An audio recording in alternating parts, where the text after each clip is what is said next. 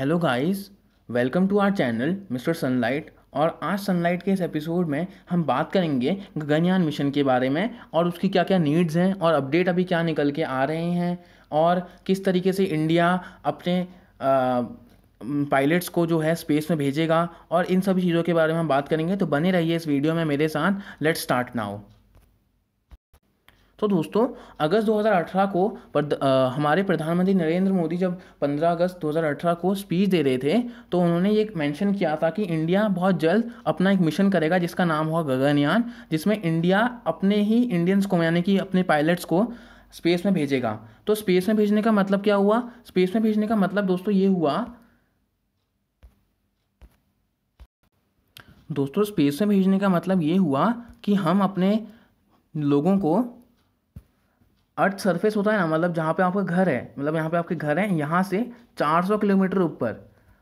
काफ़ी लोग समझ रहे होंगे स्पेस एक जगह है स्पेस तो बहुत बड़ा है, अब इतना ऊपर तो हम जाएँगे नहीं स्पेस तो थर्टी सिक्स थाउज़ेंड किलोमीटर ऊपर भी हम अपनी सेटेलाइट्स को भेजते हैं लेकिन वहाँ नहीं जाएँगे। वहाँ हम अपने आ, एस, जो वेनोमॉट्स हैं एस्ट्रोनॉट नहीं बोलूँगा वेनोमॉट्स बोलूँगा। क्यों बोलूँगा वेनोमॉट्स भी बता दूँगा आपको। तो 400 किलोमीटर ऊपर भेजेंगे अर्थ सरफेस के और वहाँ सात दिन तक हमारे जो वेनोमॉट्स हैं वो रहेंगे। कुछ रिसर्च भी करेंगे और बहुत ही मज़ेदार बात हो जाएगी इंडिया के लिए कि इंडिया ने खुद चौथी कंट्री बन जाएगा जो खुद ऐसे काम कर सकता है यानी कि अपने आ, अपने सिटीजन्स को वहाँ भेज सकता है स्पेस में भेज सकता है और ये बहुत ही अप्रिशिएबल बात होगी। हर एक मीडिया चाहे वो इंडिया का मीडिया हो, चाहे वर्ल्ड का मीडिया हो, हर मीडिया इसे कवर करेगा और ये बहुत ज़्यादा अप्रिशिएशन की बात हो जाएगी इसरो के लिए और इसरो को एक बहुत अच्छा बूस्ट मिलेगा इस सब चीज़ों से। तो दोस्तों थोड़ा सा और डिटेल में पढ़ते हैं कि ये है क्या, गगनयान मिशन है क्या? गगनयान मतलब स्काई व्हीकल। जैसे गगन मतलब होता है कि आकाश। तो आकाश में यान मतलब हो जाता है कोई ना कोई जैसे व्हीकल हो गया, गाड़ी हो गई। तो एक ऐसी व्हीकल हम बनाएँगे जो कि आकाश में उड़ेगी। यानी कि एक तरीके से ये मान लीजिए कि हमारे लोगों को आकाश में ले जाएगी। अच्छा तो स्पेस डिज़ाइन कर दिया गया है और बहुत ही अच्छी कैपेबिलिटीज़ के साथ, पहले जैसे यहाँ से आप जाना है स्पेस स्पेस स्पेस में जाना है तो यहाँ से आपको पहले स्पेस में जाना पड़ेगा। वहाँ से फिर अपने कंट्री में भी वापस आना पड़ेगा। तो कंट्री में कैसे वापस आएँगे, आपके मन में डाउट हो रहा होगा। पहले यहाँ से हम अपने रॉकेट नहीं भेजेंगे। और रॉकेट कौन सा है हमारे पास? G S L V mark three बहुत ही कमाल का रॉकेट है दोस्तों। और इसमें क्या होगा कि हम जैसे यहाँ से अर्थ सर्फेस से भेजेंगे ना तो ये रॉकेट थोड़ा थोड़ा ऐसे अनकवर होते जाएगा। मतलब ऐसे बिखरते जाएगा और नीचे गिरते जाएगा और सिर्फ़ एक कैप्सूल बचेगी ऊपर जाकर। और वो कैप्सूल मैं आपको दिखा देता हूँ अभी फ़ोटो में कैसे दिखेगी। देखिए, मैं दिखाता हूँ। कैप्सूल है जो कुछ ऐसी दिखेगी अंतरिक्ष में। और अंतरिक्ष में जो ये देखिए, यहाँ से अर्थ दिख रहा है ना, ये 400 किलोमीटर ऊपर ही है अर्थ और यहाँ से दोस्तों, प्यारे दोस्तों, ये जो इलाका है, जो ऑरेंज कलर का आपको दिख रहा है ना तो ऑरेंज कलर का जो दिख रहा है ये, इसमें जो है, हमारे जो वेनोमोट्स रहेंगे और यहाँ पे जो पावर सप्लाई का काम जो सात दिनों तक करेगा वो ये करेगा। और ये कैप्सूल वापस फिर इंडिया में या तो अरेबियन सी में यहाँ पे अरेबियन सी जो, जो कि लेफ़्ट हैंड साइड में और जो राइट हैंड साइड में बे ऑफ़ बंगाल है यहाँ पे जो है लैंड कर लेगा। तो वहाँ से फिर हमारे जो शिप्स होंगे उसी टाइम पर उन लोगों को ग्राउंड पे ले आएँगे। तो ये सब इतना बढ़िया मिशन होने वाला है लेकिन इसके लिए बहुत ज़्यादा रिसर्च लगी थी और 2008 से इस पर काम शुरू हो गया था। दोस्तों 2008 से जो है इस पर काम शुरू हो गया था। लेकिन वहाँ पे 2008 में आपको याद होगा दोस्तों कि हमारे पास इकोनॉमिक क्राइसिस चल रहा था इंडिया के ऊपर तो इतना असर नहीं हुआ, लेकिन तब भी असर होता ही है। इतना फंड नहीं होता कि आप इतने बड़े मिशन को अंजाम दे सकें, क्योंकि इस मिशन के अंदर आपको लगने वाले करीबन दस हज़ार करोड़ रुपए, यानी कि समझ रहे हैं ना? दस हज़ार करोड़ रुपए उतना होता है जितना इसरो का एक साल का बजट है। तो अगर इसरो इतना एक साल का जो बजट होगा, अगर उसे एक ही मिशन में अपने डाल देगा तो उसके लिए थोड़ा एक तो पॉलिटिकल आपका सिस्टम बहुत ज़्यादा रोबस्ट होना चाहिए। जैसे अभी सरकार हमारी पूर्व बहुमत में है तो वो कुछ भी कदम ले सकती है और थोड़ी बहुत अर्थव्यवस्था भी सही लग रही है तो हम ऐसा काम कर सकते हैं। लेकिन अभी आप कहोगे कि कोरोना वायरस के चलते ऐसा हो गया है तो शायद से हाँ इसके साथ डिले हो सकता है ये प्रोग्राम लेकिन अभी जो अपडेट आ रहा है ना अपडेट दोस्तों ये आ रहा है कि जो डीआरडीओ है या फिर जो अपॉर्चुनिटी ऑफ़ स्पेस है, उसने ये गाइडलाइन जारी करी है कि हमें हर चीज़ का ध्यान देना होगा आने वाले मिशंस में। पहले तो कि हम इसमें चार पायलट्स अपने भेज रहे हैं तो चार पायलट्स की ट्रेनिंग तो हमारी रशिया में चली रही है, और थोड़ी बहुत अगर कोई कमी बचेगी तो फ्रांस ने भी कहा कि हम आपकी मदद करेंगे तो फ्रांस में भी हो जाएगी थोड़ी बहुत। और तीन ही को भेजना है, और तीन में भी कुछ ऐसी बात होगी कि हमारे यूएन मिनिस्टर एक हैं जितेंद्र जी, उन्होंने ये कहा है कि इसे हम मैंड स्पेस क्राफ्ट मिशन नहीं कहेंगे। इसे हम कहेंगे ह्यूमन स्पेस क्राफ्ट मिशन क्यों? क्योंकि इसमें हम लड़कियों को भी ले जाएँगे। यानी कि एक हमारी लेडी पायलट होगी इंडियन एयरफोर्स की, वो भी शायद से जाएगी और दो हमारे मेल पायलट्स तो जाएँगे ही।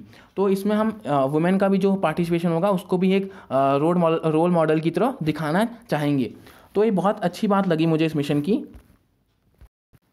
और जैसे कि होता है ना कि अब काफ़ी बार अगर तीन लोग भी हैं तो ऐसी चीज़ें होती हैं जो मशीन्स को ज़्यादातर दिखाई देती हैं और इन, जो इंसान होता है उसे ज़्यादातर नहीं दिखाई जाती और नहीं दिखती हैं। स्पेस में क्योंकि एक तो अलग माहौल होगा आपको चलो ट्रेनिंग दे भी दी है लेकिन आप जा तो पहली बार रहे ना तो इस हिसाब से हमने इसरो ने क्या किया एक ह्यूमनॉइड जो भी डिज़ाइन किया गया व्योमित्रा आपने सुना होगा न्यूज़ में आया होगा और जनवरी टू के अंदर ट्वेंटी जनवरी को ये कहा गया कि व्योमित्रा भी इसरो में जो तीन लोग जाएँगे ना हमारे, तीन पायलट जाएँगे जाबाज पायलट जाएँगे, उनके साथ ये भी जाएगी। और इसका काम क्या होगा? इसका काम होगा, देखिए, इसका काम होगा क्रीव हेल्थ केयर को ध्यान में रखना रेडिएशन मेजर्स यानी कि देखिए वहाँ पे बिल्कुल एक तो थर्मल रेडिएशंस आती हैं और काफ़ी सन की रेडिएशन भी आती है, क्योंकि हम तो अर्थ में रहते हैं तो यूवी रेज हमें प्रोटेक्ट कर लेती हैं, लेकिन वहाँ पे तो स्पेस में खुला है सब कुछ तो वहाँ रेडिएशंस होंगी और वहाँ पे पैराशूट्स सब कुछ सेफ़ रिकवरी अब जब से आप ऊपर जाएँगे, नीचे आने के लिए भी जब पैराशूट्स का इस्तेमाल करेंगे और किस हिसाब से आप जब एक समुद्र के ऊपर बिल्कुल इतनी तेज़ से आएँगे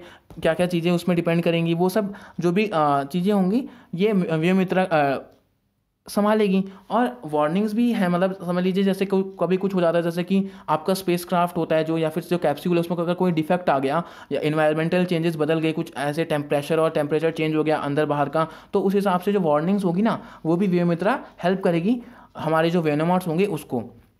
दोस्तों, मैं आपको एक खास बात बता देता हूँ, जैसे रशिया में इसे कॉस्मोनोट कहते हैं और जैसे यूएस में से एस्ट्रोनॉट कहते हैं, वैसे ही इंडिया में से व्योनामॉट कहते हैं।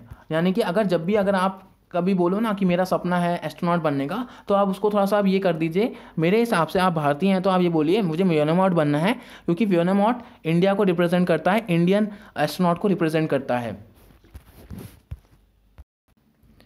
लेकिन तब भी दोस्तों, आपके मन में एक सवाल आ रहा होगा कि यार, इतना सब कुछ, देखिए, इतना सब कुछ हम दस हज़ार करोड़ रुपये मतलब दस हज़ार करोड़ बहुत बड़ी रकम होती है और ये सब मतलब इस ऐसी चीज़ों पे हम इन्वेस्ट कर रहे हैं, जहाँ कि हमें इतना कोई फ़ायदा नहीं है। अगर मतलब फ़ायदा इन द सेंस अगर हम दूसरे मिशंस को देखें जैसे नाविक हमारा मिशन था कार्टोसैट हमारा मिशन था तो ऐसी सेटेलाइट जब आ, इंडिया इसरो ने लॉन्च करी तो उसमें हमारा एक तो मिलिट्री सेटेलाइट थी जो कि हमारी मिलिट्री को बेनिफिट देंगी आने वाले दस या पंद्रह सालों में। चंद्रयान मिशन हमारे एक्सप्लोरेशन को मदद देगा। तो उस हिसाब से तो हमें मदद मिल रही थी। हम खर्चा भी बहुत कम कर रहे थे मदद भी हमें बहुत मिल रही थी। समझ रहे हैं ना? मदद हमें मतलब मदद हमें बहुत मिल रही थी खर्चा भी हम बहुत कम कर रहे थे। लेकिन इसमें हम खर्चा बहुत ज़्यादा कर रहे हैं और मदद की जैसे हमें लग रहा है कि आ, कुछ मिलेगा ही नहीं। हम खाली सात दिन के लिए वहाँ जाएँगे और वापस आ जाएँगे और दस हज़ार करोड़ रुपये खर्च कर देंगे। नहीं दोस्तों, ऐसा नहीं है। दस हज़ार करोड़ रुपये जो आप इसमें खर्च करेंगे वो कुछ ऐसा होगा, तीन तीन फेजेस में होगा। पहला, पहले दो फ़ेज़ तो ट्रायल फ़ेज़ होंगे। जैसे कि दो, अभी बताया जा रहा है कि दिसंबर, अभी कोरोना वायरस चल रहा है तो शायद से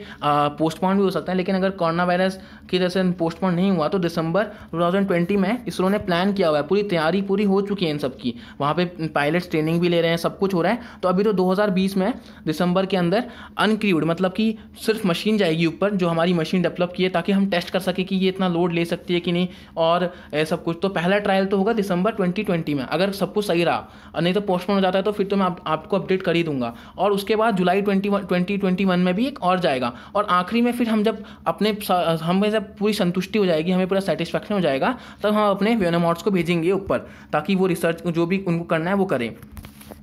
तो इस हिसाब से मतलब ये बहुत ज़्यादा अहम हो जाता है। और दूसरी बात क्या है ना कि हमारा, हमें इसमें फ़ायदा दिख रहा है या नहीं दिख रहा, ये बात की बात है, लेकिन ये लॉन्ग टर्म में हमारे लिए बहुत फ़ायदेमंद रहने वाला है। क्यों? क्योंकि आप देखिए इंडिया को समझा क्या जाता है? इंडिया को अगर आप वेस्टर्न कल्चर में जाएँगे वहाँ देखेंगे India is amongst developing countries और वहाँ की जो कंट्रीज़ जैसे नीदरलैंड है चेक रिपब्लिक है और आइसलैंड है इंग्लैंड है सब कंट्रीज़ जितनी भी यूके हैं, सब बिल्कुल डेवलप्ड है। यहाँ पे बिल्कुल हर चीज़ बिल्कुल फ़र्स्ट क्लास आप कोई भी इंडेक्स निकाल लीजिए ह्यूमन डेवलपमेंट इंडेक्स निकाल लीजिए पॉवर्टी इंडेक्स निकाल लीजिए, वहाँ पे ये सब ऊपर रैंक इनकी सबसे ज़्यादा ऊपर होती है। और एक हमारे जो इनके मन के अंदर एक धारणा होती है, यानी कि जो वेस्टर्न कल्चर है, ये सोचता है कि India is like a poor country तो ये हमारे एक स्टेटस को बिल्कुल एक तरीके से बूस्ट करेगा कि हम ऐसा नहीं है, हम थोड़ा बहुत अपने आप को अब टेक्नोलॉजी की तरफ़ हम अपने आप को मोड़ रहे हैं हमारा जो सेक्टर है R N D sector increase हो रहा है। आर एन डी सेक्टर यानी कि जो रिसर्च एंड डेवलपमेंट होता है ना कि आ, कितना पैसा एक देश उस पर खर्च कर रहा है तो वो इंक्रीज़ होगा। और काफ़ी लोगों को जो मीडिया होगा वर्ल्ड मीडिया होगा, वो कवर करेगा कि एक ऐसा देश, चौथा देश बन जाएगा इंडिया जिसने अपने खुद सिटीजन्स को वहाँ पहुँचाया। और ऊपर से बहुत प्राउड मूवमेंट भी होगा कि आने वाली जो पीढ़ी होगी, इसके बारे में बात करेगी। तो वन एंड ऑल ये मतलब एक बिल्कुल अच्छा मिशन है। आप दस हज़ार लगा रहे हैं, लेकिन आप कुछ इज़्ज़त भी तो कमा रहे हैं। कभी कभार इज़्ज़त इज़ मोर ग्रेटर देन आपको कोई फ़ायदा हो तो उससे बहुत ज़्यादा अच्छी बात होती है इज़्ज़त मिलना। तो वही एक आपका स्टेटस क्या है? आपको लोग किस नज़रिए से देखते हैं? तो थोड़ा बहुत मुझे लगता है कि आपका नज़रिया, लोगों का जो नज़रिया इंडिया को देखने का वो बदलेगा। और बदला भी है दोस्तों इसरो का जो आजकल पिछले तीन चार सालों में हमने देखा इसरो का जो जो काम कर रहा है चंद्रयान मिशन हो या फिर वो कार्टो सैट हो या नाविक हो या दूसरे G S L V mark three को अपग्रेडेशन करना हो बहुत सारी ऐसी चीज़ें जिसमें इसरो ने बिल्कुल ख्याति पा ली है और आज आ, उसका लोहा मानता है मतलब पूरा विश्व उसका लोहा मानता है। तो मैं सोचता हूँ कि आप बिल्कुल ये इंडिया का जो सॉफ्ट पावर है ना कि लोगों जो दुनिया है इंडिया के बारे में क्या सोच रही होगी? उसे सॉफ्ट पावर कहते हैं कि एज इंडिया अपने आप को क्या दिखाता है? पीसफुल कंट्री तो वो उसको बढ़ावा देगा और हमारे नेबरहुड में हमें बिल्कुल एक बूस्ट देगा। मतलब कि चाइना को भी चाइना को भी लगेगा यार कि ये बिल्कुल एक अच्छा काम कर रहा है, यानी कि इनके पास ऐसी टेक्नोलॉजी है, काफ़ी बूस्ट मिलने वाला है। हमारे फिर हम काफ़ी मदद कर सकते हैं अपनी कंट्री आसपास की कंट्रीज़ का जैसे वियतनाम जैसे साउथ एशिया आसियान कंट्रीज़ का जो हमारे पे रिलाई करती हैं काफ़ी स्पेस मिशन पे। तो ये सब चीज़ें होंगी। तो that's all for the analysis आपको कैसा लगा? दोस्तों प्लीज़ इसे आ, मुझे बताइएगा कमेंट्स में और लाइक ज़रूर करिएगा अगर आपको अच्छा लगा। और प्लीज़ इसे शेयर ज़रूर करिएगा क्योंकि अगर हम शेयर करते हैं ना तो लोगों को भी इसके बारे में पता चलेगा और आपके आसपास, आपके मम्मी, डैडी को या फिर आपके दोस्तों को, आपके फैमिली मेंबर्स को, ताऊ ताई को, सबको पता लगना चाहिए कि इंडिया कुछ ऐसा कर रहा है। क्योंकि प्रॉब्लम कहीं ना कहीं ये भी होती है कि हमें नहीं पता होता। हम लोग काफ़ी बार जो बेकार मुद्दे होते हैं, उनमें भटके रहते हैं। तो उस हिसाब से अगर हम साइंस की तरफ़ अपने आप को रुक मतलब मोड़ लें तो एक काफ़ी अच्छा होगा एज अ कंट्री इंडिया के लिए कि वो आने वाले टाइम के अंदर अपनी पोजीशन को कैसे इंप्रूव कर सकता है? Thank you and this is the end of the analysis thank you and have a nice day ahead